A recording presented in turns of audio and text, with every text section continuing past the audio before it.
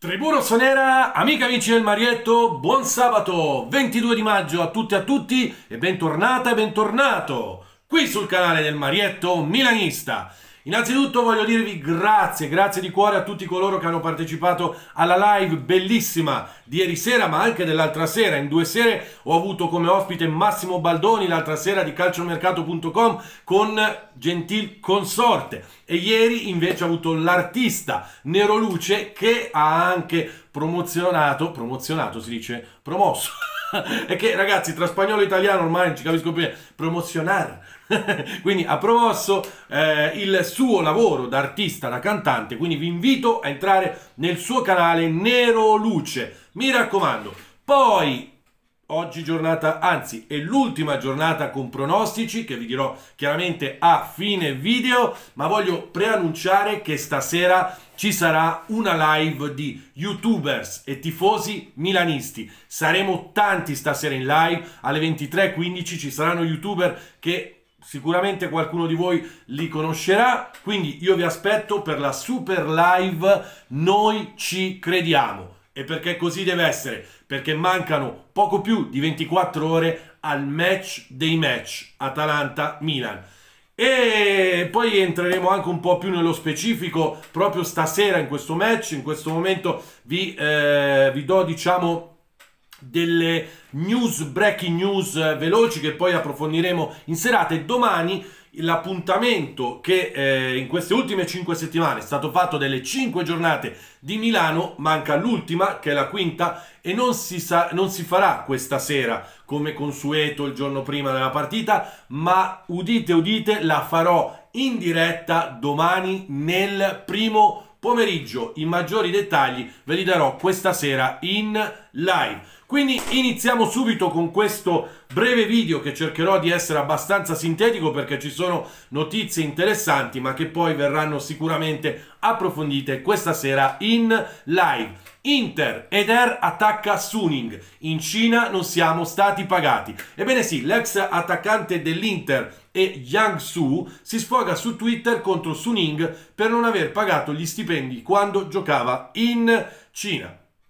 Infatti, in un eh, post che ha scritto in un, eh, in un Twitter, un Pio Pio, scrive spero che i soldi arrivino anche per noi del Suning FC e spero che all'Inter succeda come a noi, visto che la proprietà dei club è la stessa, che dopo aver vinto il campionato cinese a dicembre il club non ci ha pagato 8 mensilità intere e le tasse su quelle precedenti.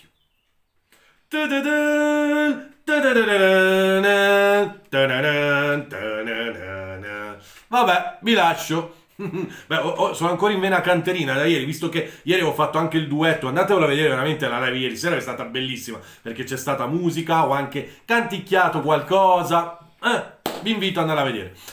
Striscione dei tifosi del Bologna questa settimana ormai sono proprio impazzati, vogliono a tutti i costi sfrenare l'avanzata della Juve in Champions League e infatti oggi fuori dalla Casteldebole dove comunque c'è il, come il Milanello diciamo del Bologna uno striscione dove c'era scritto sbranateli, cioè proprio gli danno forza, però attenzione che eh, il signor Mihailovic rilascia nella conferenza stampa prima della Bologna-Juve di domani una frase che lascia un po', un po' perplessi e dice ho sognato un rigore sullo 0-0. Il problema è che questo rigore è per la Juve, dice che lo tirava di bala, però non sa poi come andò a finire. Non sa se entra, non sa se esce. In ogni caso lui dice e chissà che cosa vorrà dire. Ricordiamoci che dopo che ormai è Nostradamus, Mihailovic ha anche indovinato chi fossero stati gli arbitri, beh, un po' scontata come cosa perché me lo potevo immaginare, di Bologna-Juve, Giacomelli al VAR e Valeri in campo. Ta-da-da-da! Perfetto, non dico nient'altro. Domani penso che avremo tanto da dire nel post partita, sperando però con il sorriso a 270 denti, cioè me li metto pure con una nostra vittoria. Poi il signor nostro padre Piori oggi ha avuto la sua conferenza stampa non sto lì a dire quello che ha detto e non ha detto, tanto basta che vi mettete YouTube la trovate intera, quindi non è che devo stare lì adesso a ripetere. però dice più no che sì. Uno dice che sì, più no che sì. No, no che sì, Fran che sì. Più no che sì. Ossia, è più no che sì. Ripetendo la terza volta. Cioè, stiamo parlando di Ante Rebic. Ebbene sì, Ante Rebic domani 90% non sarà della partita perché le condizioni fisiche eh, del giocatore sono abbastanza problematiche visto che ha un forte problema al polpaccio. Stamattina non ha fatto neanche la seduta completa, non si sa se verrà convocato per domani e quindi adesso si fa sempre più preponderante il nome di Mario Mandzukic davanti. Prima probabilmente con Leao, probabilmente sarà l'inizio con Leao, per poi arrivare appunto al Mariolone, che magari può essere la volta buona, che timbra il gol Champions League e tutti felici e contenti, però lui chiaramente se ne andrà ugualmente. Così come se ne potrebbe andare anche il portiere, con qua chiudiamo con queste ultime con quest'ultima notizia, il Milan dice fermiamo questa follia e a chi si riferisce chiaramente alle super commissioni che vuole Raiola. Il giornalista sportivo Riccardo Cucchi, che immagino tutti conosciate, ha espresso tutta la sua contrarietà e alla presunta esagerata richiesta di Raiola in caso di rinnovo di eh, Gigio Donnarumma per il Milan. Infatti, in un suo tweet, ormai vanno tutti twittando, dice 20 milioni per l'accordo su Donnarumma, se la notizia è vera allora è, è giunto il momento di porre un freno a queste follie, ci vogliono regole nuove. E poi mette hashtag Raiola. Ebbene sì, perché sembra che il procuratore che noi tutti conosciamo, l'amatissimo Mino Raiola, praticamente avrebbe chiesto una commissione vicina ai 20 milioni per far rinnovare Gigio Donnarumma a uno, all'altro. Andate dove volete. Ma stiamo scherzando, ma stiamo scherzando veramente. Dai, se fosse vero, ma pedate nel culo, uno e l'altro non li voglio più vedere a Milanello. E soprattutto tutti coloro che sono sotto la procura di sto qua, al Milan, nessuno, tutti fuori, Romagnoli fuori, Ibra ormai perché all'ultimo anno ha firmato, ma poi tutti fuori dalle balle, tutti fuori dalle balle, altro che De Paul, De Paul è un altro che è sotto quello, De Mkhitaryan è un altro che è sotto Raiola, io non voglio nessuno di Raiola, avete capito sì o no? Oh, là. Concludiamo ragazzi con quest'ultimo pronostico e scommesse. Allora, l'ho fatto facile per cercare di vincere anche l'ultima settimana. L'altra settimana avevamo beccato 8 su 10. Ormai ho la media, ho fatto tutte queste ultime 7 settimane, la media dell'87% di vittorie. Cioè, quindi, cosa vi devo dire? Cioè, mh, da 7 in su, praticamente su 10 sono soldi che prendete. Però dovete giocarle, come già vi ho detto, a 3, 4 divise, perché tutte insieme è difficile poi prendere tutte e 10. In ogni caso, vi dico un po', iniziamo dal basso, quindi dalla bassa classifica, Torino-Benevento. Io ho messo un più 0,5, più 0,5, un gol, probabilmente lo faranno, è una partita probabilmente tipo scapoli ammogliati, sono salve, eh, il Torino è salvo, il, il Benevento appena retrocesso, bisogna vedere con quali stimoli affronteranno questa partita, comunque più di un gol non credo che cioè minimo un gol però uno due gol non credo che saranno tanti. Quindi più 0-5 Cagliari Genoa messo gol. Cioè vuol dire che secondo me queste due squadre segneranno tutte e due così come Crotone Fiorentina. Sampdoria Parma 1-2 ho messo. Attenzione che questa potrebbe essere la partita sorpresa. Provate a mettere il 2 io ho anche sognato un risultato secco. 2-0 per il Parma non lo so, la lancio lì. Spezia Roma X2, Sassuolo Lazio 1X.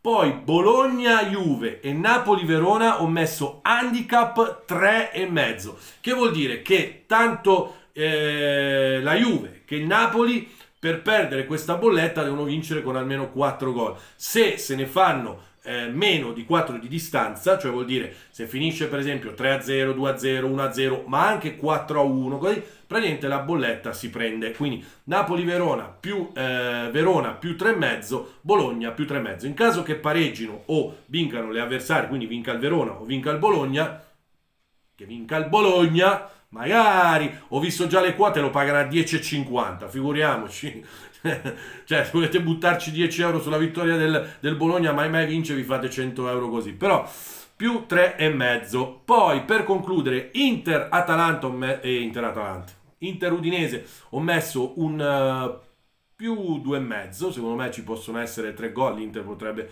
chiudere in bellezza anche perché poi ci sarà la festa scudetto.